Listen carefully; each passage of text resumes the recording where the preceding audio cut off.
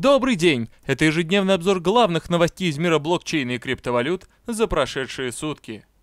После нескольких дней цена на цифровое золото постепенно снижается, и сегодня стоимость биткоина опустилась ниже 12 тысяч долларов. Поражает также объем торговли биткоином за прошедшие сутки, который составил 20 миллиардов долларов. Напомним, что всего несколько дней назад цена биткоина превышала отметку в 20 тысяч и достигла своего нового исторического максимума 20 тысяч 89 долларов США. Похожую ситуацию на рынке мы наблюдали в сентябре, когда правительство Китая ввело запрет на деятельность китайских криптобирж. Объем распродаж можно легко заметить по цифрам общей капитализации рынка, что равняется 514 миллиардам долларов. Всего пару дней назад этот показатель был выше 652 миллиардов.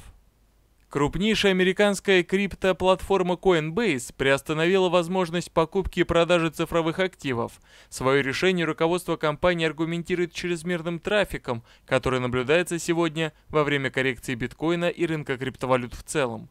Представители компании заверили своих клиентов, что работают над исправлением проблемы, а также извинились за временные неудобства.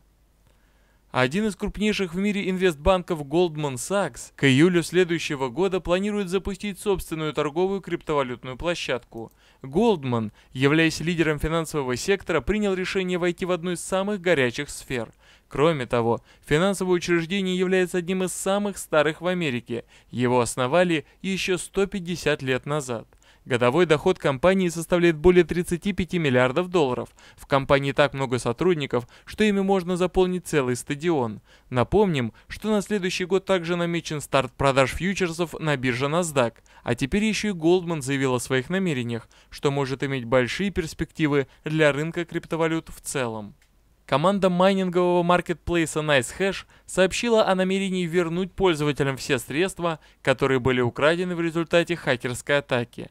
Точная дата выплаты возмещений будет названа 31 января следующего года. С 20 декабря майнеры снова смогли начать работать на NiceHash, так как функционирование сервиса было восстановлено.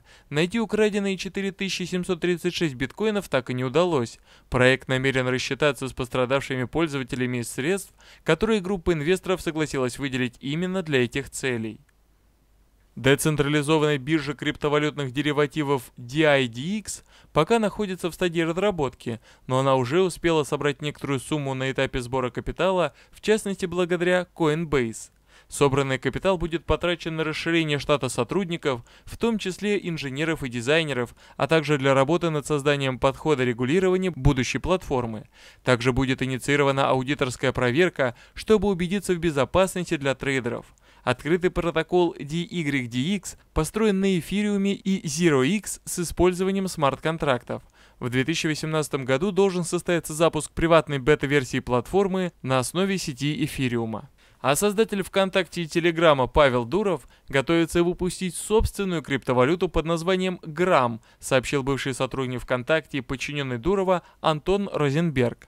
Он считает, что таким образом Дуров начнет монетизировать мессенджер Telegram и обеспечит азиатские страны цифровой платежной системой. Новый проект будет назван ТОН – Telegram Open Network. И уже есть первый проморолик в стилистике Звездных войн. Платформа будет интегрирована со многими из самых популярных приложений для обмена сообщениями, пока не определено, какими именно. Тон будет использовать так называемые легкие кошельки. По словам Розенберга, выход на ICO обеспечит существование Телеграма, который вот уже более пяти лет приносит только расходы. А сегодня разработчики платформы PundiX, обеспечивающие торговлю криптовалютами для розничных торговых точек с помощью Proof of Stake устройств, объявили о начале сотрудничества с компанией Stellar, которая представляет собой блокчейн с открытым исходным кодом для денежных переводов между финансовыми организациями и различными платежными системами. Сообщается, что компания PundiX в Индонезии интегрирует протокол Stellar для обеспечения более быстрых и экономически выгодных международных платежей. Сегодня разработчики биржи Binance объявили о добавлении цифровой валюты Neblio на торговую платформу. Платформа Neblio представляет собой площадку, призванную упростить и ускорить разработку и развертывание децентрализованных приложений в блокчейне Neblio, а в дальнейшем также и в других блокчейнах. Основная целевая аудитория сети Neblio – организации различного уровня. Криптовалюта Pure в настоящий момент имеет капитализацию выше полутора миллионов при цене монеты около 50 центов. Цифровая валюта представлена только на одной торговой платформе Coin Exchange, где она торгуется за токены биткоина, согласно данным сайта CoinMarketCap. В свою очередь, платформа PureDex представляет собой блокчейн-стартап по запуску децентрализованной peer-to-peer криптовалютной биржи с мгновенными транзакциями для любых пользователей со всего мира.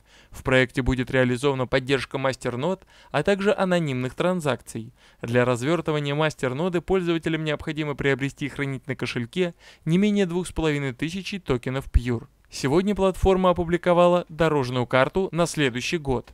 А завтра ждем следующие события.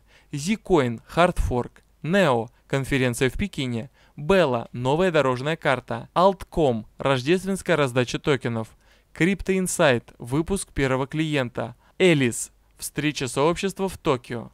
А на сегодня все. Каждый день мы собираем главные новости в одном месте, чтобы ты был в курсе. Подписывайся, iTuber.